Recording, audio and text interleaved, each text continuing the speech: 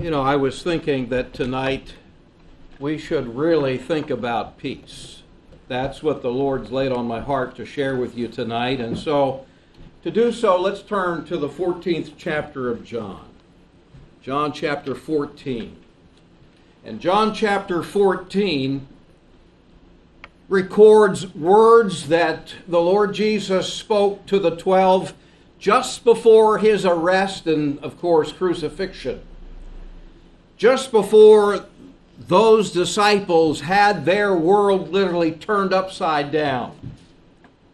And wouldn't you know it, just like Jesus, being so humble and so others oriented, he's encouraging them. He's equipping them to face the difficulties that are just ahead. Current events, they present us a lot of worry, a lot of anxiety, a lot of opportunity to fear. I know I've sensed that in some of you over these last couple of uh, weeks and months. You know, a hundred years ago, bad things happened and it'd be a long time until you found out about them, and sometimes you never did. But now, of course, everything can be instantly live streamed on video in living color. We have to learn how to possess God's peace, not just to make our lives more pleasant, but for the glory of God and for an opportunity to show Jesus in unpeaceful times. And so Jesus shares with his disciples in John 14, I think, several important, I call them shalom truths. Truths that bring peace to the heart. He begins that chapter uh, with those famous words, Let not your heart be troubled. And if you look down with me uh, to verse 27, he repeats those same words as he ends that verse and adds, Neither let it be afraid. Let not your heart be troubled, neither let it be afraid. If your heart is troubled tonight, if you have fear tonight, Jesus has something to say to you right here. In fact, he has more than that. He has something to offer you. For he says in verse 27, and this specifically is my text tonight Peace I leave with you. My peace I give unto you. Not as the world giveth, give I unto you. He offers, he gives a legacy he bequeaths a legacy to his people peace, shalom.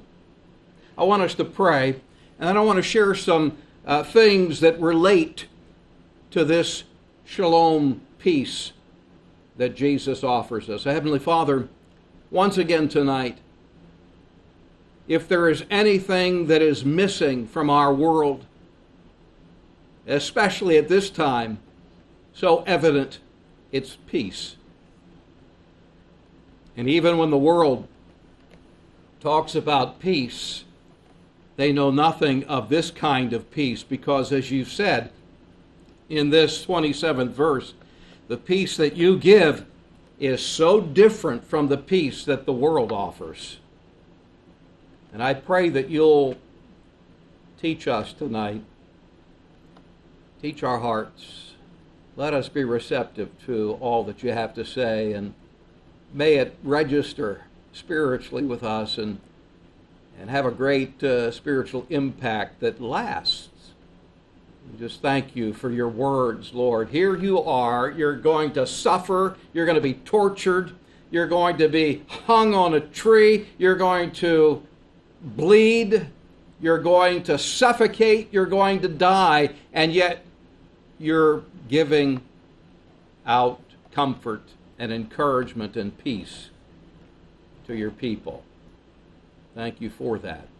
Thank you for being more concerned with other people, others, than yourself, even when you're facing the worst conditions imaginable. May we learn from that. We ask in Jesus' name. So I would call your attention in chapter 14 of John's Gospel to the 12th verse, because the first truth that I think feeds into this matter of shalom, of God's peace, is to understand what is said in this 12th verse, where Jesus says, Truly, truly, verily, verily, I say unto you, he that believeth on me, the works that I do, shall he do also, and greater works than these shall he do. And here's the phrase I don't want you to miss because I go to my Father. Because I go to my Father. Now, when we open John's Gospel, we come to realize that Jesus, he came from his Father. He came out of the bosom of his Father. His Father sent him, verse 24 says in this chapter. Now he is saying in this 12th verse that he is going back following his crucifixion and resurrection. He is going to ascend back to the Father and to properly understand what Jesus is saying and, and what the, the importance of this little phrase, because I go to my Father, what the importance of that is, you have to discern the difference between Jesus' earthly humility and his heavenly glory. The difference between Jesus' or the Messiah's earthly humiliation and the Messiah's heavenly exaltation.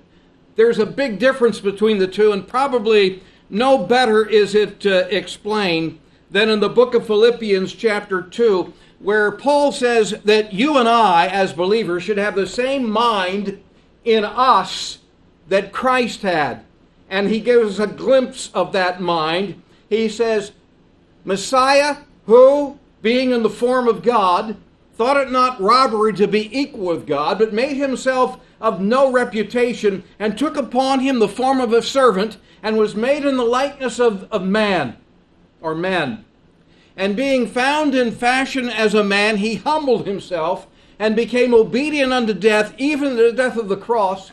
Therefore God hath highly exalted him, and given him a name which is above every name, that at the name of Jesus every knee he says, should bow of things in heaven and things in earth and things under the earth, and every tongue should confess that Jesus Christ is Lord to the glory of God the Father. So you see the, the contrast between Messiah's earthly humiliation and his heavenly exaltation, all pictured there for us. His earthly life was a life in which he purposefully limited himself, but his heavenly exalted life, which he now has, is full of infinite possibility. Highly exalted, no limitations. Messiah defeated all his enemies and all of our enemies in his death and resurrection and ascension. And today, he rules supreme in control over heaven and earth. He himself says, All authority, all power over heaven and earth resides in me.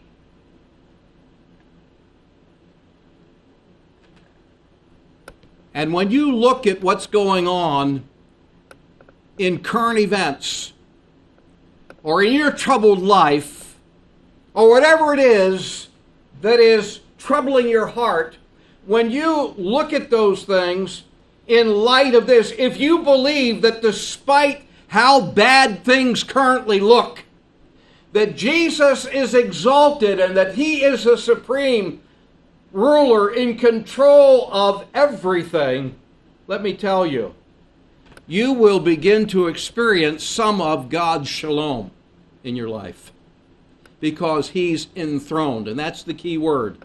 in verse 12. Because I go to my Father means because I'm enthroned. Because I'm sitting on the throne as Lord of all. But there's a second truth that really feeds into this peace that Jesus bequeaths as a legacy to his people. And it's found in verse 26 of chapter 14, where he says, well, let's, in, before we go to chapter, uh, verse 26 of this chapter, let's drop back a little bit and uh, let's look at verse uh, 16. Jesus says, I'm going away. But I will pray the Father, and he will give you another comforter, capital C, that he may be with you forever. Even the Spirit of truth, that's who the comforter is whom the world can't receive because it seeth him not, neither knoweth him, but you know him, for he dwelleth with you currently, and at Pentecost will be in you. That's what he says here in that 17th verse. And then drop down to verse 26. But the Comforter, capital C, which is the Holy Ghost, whom the Father will send in my name, he shall teach you all things and bring all things to remembrance whatsoever I have said unto you. Here's the second key word that really fits into this peace that Jesus promises his people. Not only that he's enthroned, but that you and I are inhabited. That we're inhabited. Messiah is physically leaving, but he's not leaving spiritually. He's going to abide with us forever, he says, through his substitute, the Holy Spirit. The Holy Spirit is the one who I believe one of his greatest functions is, as Jesus says in verse 26, to bring truth to our minds and give us understanding of that truth, that we would ever realize how dependent we are upon the one that inhabits us, upon the indwelling Holy Spirit, to teach us the meaning of the Bible, to bring the Bible truth to our uh, our, our memory, to our mind at just the right time when we need it most. We have to depend upon the Holy Spirit. As you regularly read your Bible, I hope you at least do that. As you regularly read your Bible, do so depending upon the Holy Spirit. As you regularly study your Bible, as you meditate upon the truth in the Bible, as you memorize the Bible, you depend upon the Holy Spirit for that. Don't tell me I can't memorize the Bible. The Holy Spirit can enable you to do that. You're just too lazy and you don't want to. Let's be honest about it. The Holy Spirit, you depend upon Him to memorize, and also, I think, interpret the Bible. You interpret the Bible by interpreting the Bible by the Bible.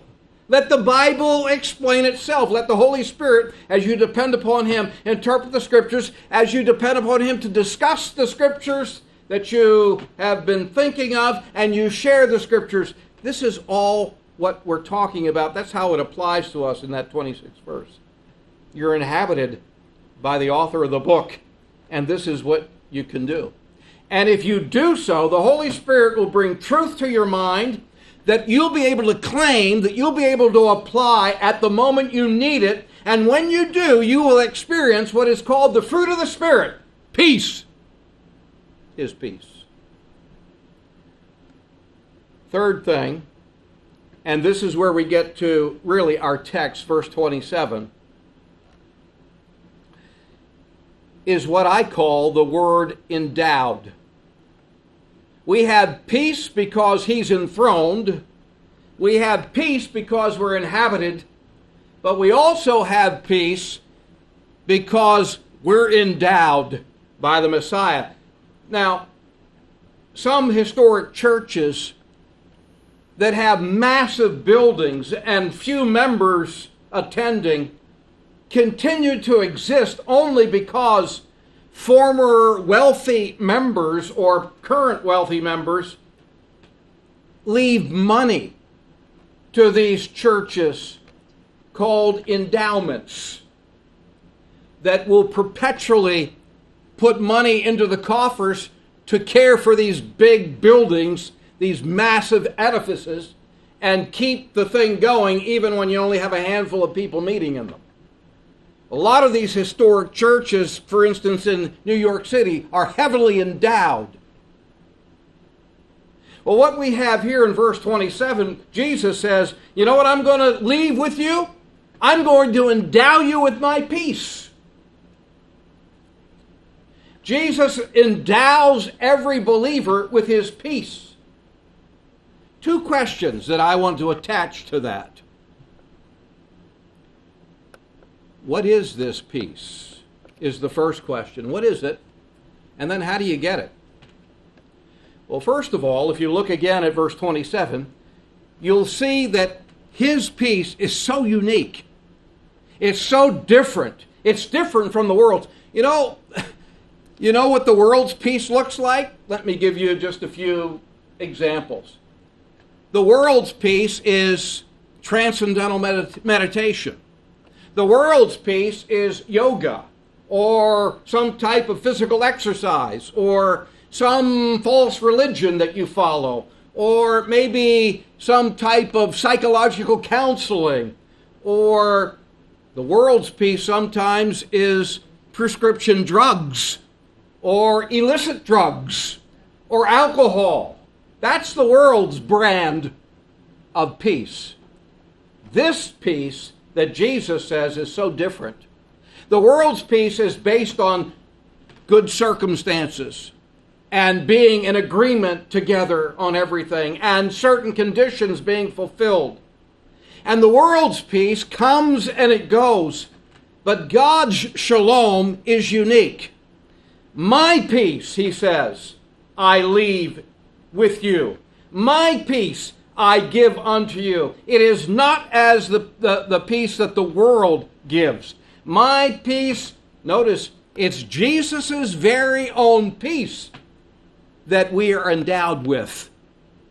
That, I think, ought to say something. The same peace that Jesus possessed and the same peace that Jesus tonight possesses is the peace that he endows you and I with. Does that mean that Jesus never was troubled? Well, we'll see that in a moment. But uh, his peace is unique. It's, he says, My peace I give you. In other words, it's never going to end, it's perpetual. And you know what? It's miraculous. The peace that Jesus gives us is a supernatural peace. It's a miraculous peace. It's infinite. It's never going to run out because it's His peace. But here's the thing that really makes it so different from the world's peace and from what the world calls peace. And it's this it's internal. It is that which Jesus fills your inner person with. And so it's unchanged by changing circumstances. It's like when Jesus showed up in that upper room after the resurrection. All of a sudden, doors locked. There he is in the midst. Peace be unto you. Shalom. The peace that Jesus endows us with is peace in which he shows up in our inner man and he says, Shalom. Shalom Aleichem inside our hearts. Peace be unto you. It's an inner thing. He enters, he infuses a, a great settled rest in him into our inner life so that we can be composed, so that we can be uh, unirritated, so that we can be without fear and uh, without anxiety and without worry. I listened to a, a clip, uh, video clip uh, a day or two ago of the testimony of the new press secretary. And she was saying how she felt so nervous when she had her first press conference. I'm sure she still does, but especially the first one. And uh, she called her, her mom and her parents to, to pray with her. And she called friends and, and asked them to, to pray with her. And she had a little prayer session with some of the believers there uh, in the White House before she went out for that first press conference. And she said, after we were done praying, a, a, a peace just settled on me. And I had composure. And I knew it wasn't me, it was the Lord answering my prayer. So, this is what it is. This is the endowment here that Jesus, how do you get it? It's Jesus' legacy. He says in that 27th verse, I'm going to leave it with you. I'm going to bequeath it to you. It's going to be my endowment to you. And uh, I give this peace. In other words, it's, it's a gift. It's an endowment that money can't buy. And even if there was money that, that uh, could be put towards it, it would never be affordable.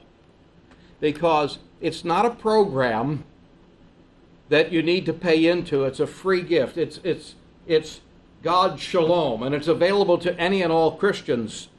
Just like a gift inheritance, it's no good unless you claim it. You could uh, be the heir of a huge fortune, but unless you claim it and take it as your own, it does you no good at all. Same with this. This is the endowment of every child of God. Jesus is peace. But if you don't claim it, if you don't take it, your head could be all messed up. Your life could be in, in shambles. You'll be just filled with anxiety and worry and fear. But you don't have to be if you claim your endowment, if you take advantage of the inheritance that is yours, that Jesus promises to any and all Christians. And there's three dimensions to this peace. First of all, there is what the Bible calls peace with God, and that's really the basis, the foundation for claiming it. Before you have this kind of peace that Jesus promises to believers, you got to be a believer. And you become a believer by coming into peace with God. And that's very clear that this peace is not yours, it's not your endowment until, first of all, you've made peace with God. And how do you make peace with God? Very simple. The Bible says that we make peace with God by simple faith in what Jesus did for us when he suffered and bled and died for our sin on that tree. We are justified in the eyes of God. We're declared righteous in God's eyes by faith in the shed blood of the Lamb of God, Jesus the Messiah. That gets you peace with God. But what Jesus is promising here is the peace of God. So it begins by claiming peace with God, and it continues by then claiming the peace of God. Notice, this peace that Jesus endows us with is not detached or aloof or indifferent or ignorant of current events or life's problems. Jesus, he was well aware of what was going on around him and showed human emotions at times. He is said to be troubled or to be grieved, which tells me that this peace that we're endowed with isn't automatic. You have to bring your human emotions under the control of the Holy Spirit. To not let that trouble stay inside you. Notice the uh, verse 27 in the last sentence. Let not your heart be troubled, neither let it be afraid. Don't let that stay inside you, a troubled heart. You got to bring it under. You got to exchange your fear. You got to exchange your worry. You got to exchange your anxiety or your anger or whatever it is for the Holy Spirit's fruit, which is Jesus' peace.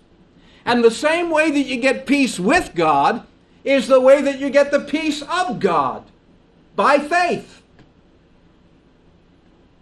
You claim it, you take it by asking, by receiving.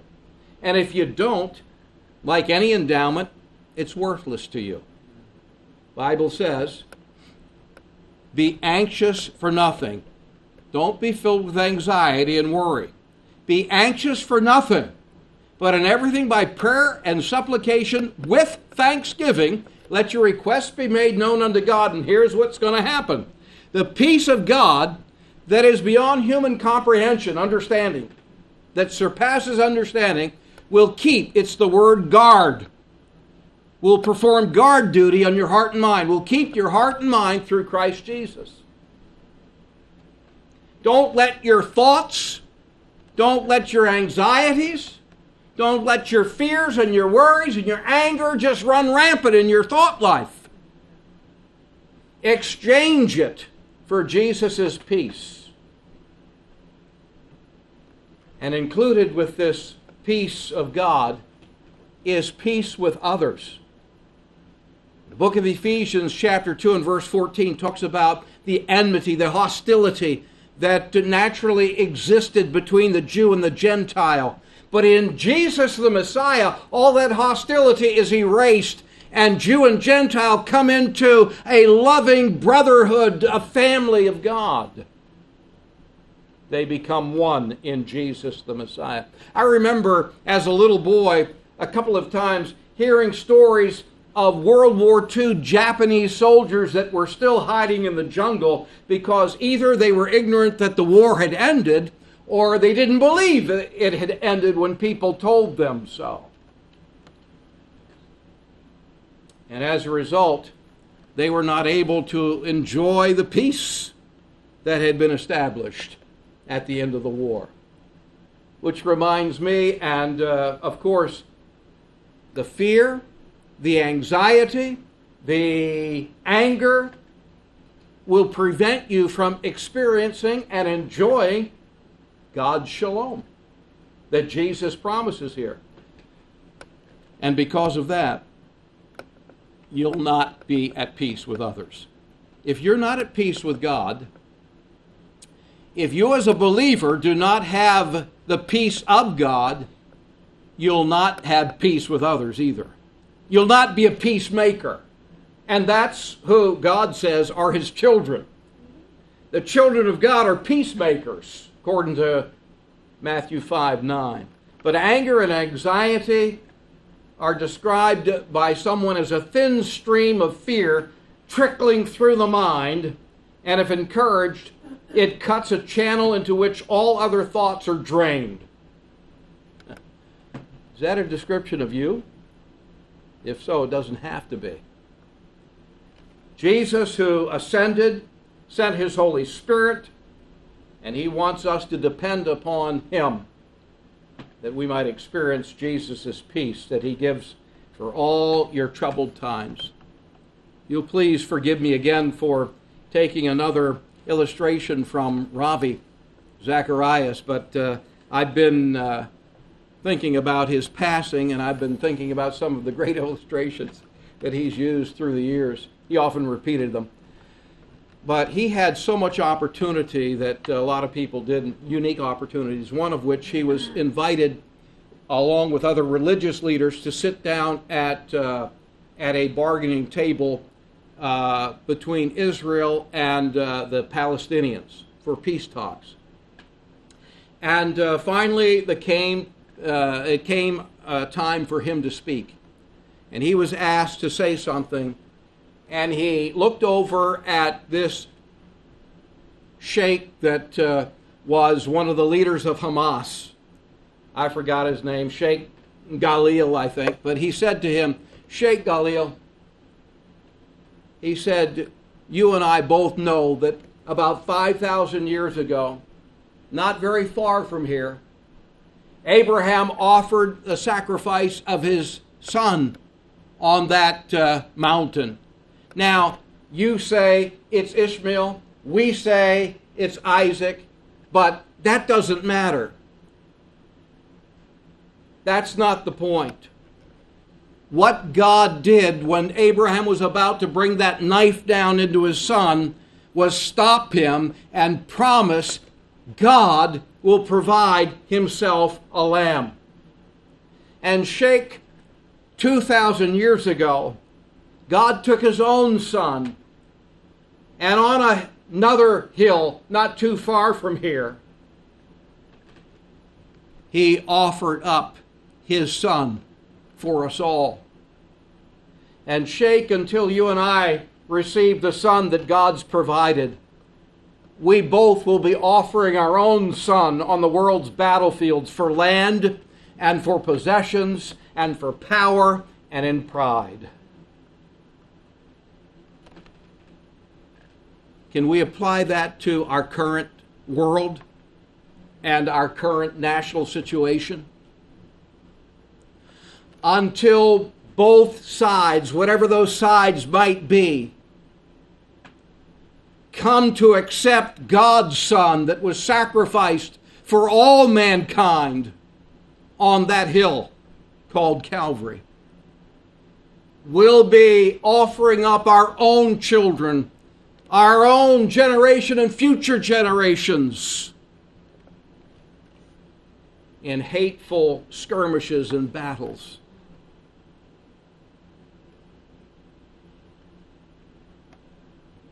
My peace give I unto you, not as the world giveth. Let not your heart be troubled, neither let it be afraid. Our Heavenly Father, use this in our hearts.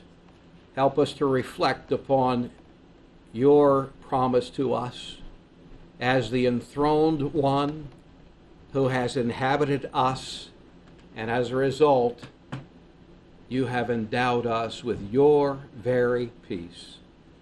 And you are our peace. And we take tonight and thank you that you undertake in Jesus' name.